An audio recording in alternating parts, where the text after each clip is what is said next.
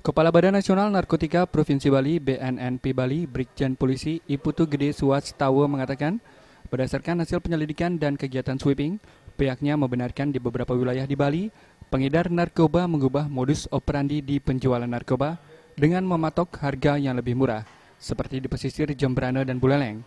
Harga terendah dimulai Rp150.000 dengan memecah-mecah paket narkoba dengan berat 0,01 atau 0,02 dan 0,03 gram. Bahkan menurut informasi, harga narkoba yang beredar bisa mencapai 10 hingga 15 ribu rupiah.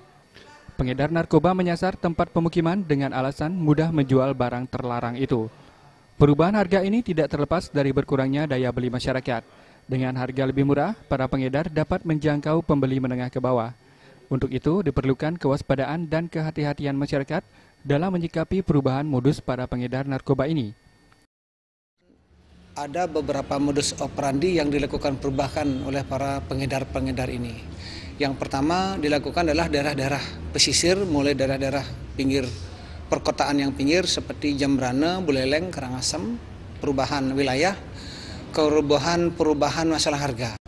Itu dipecah dari 0,01 kemudian 0,02 sampai 0,03. Jadi paling murah 150 ribu. Jadi itu perubahan-perubahan satu perubahan harga, kemudian perubahan tempat pengedaran dan yang ketiga adalah yang disasar adalah tempat pemukiman. Terkait fenomena ini, jajaran BNNP Bali telah meningkatkan sosialisasi dan sweeping dengan sasaran kalangan menengah ke bawah.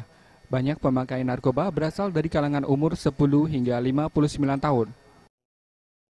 Lebih berhati-hati dengan terjadinya perubahan modus operandi dari para pengedar-pengedar ini sudah satu menyisir pemukiman dengan harga yang lebih murah itu menjadi kehati-hatian dan harus mengawasi pergaulan anak kita. Rais Wantara dan Yudi Pertana, Bali TV.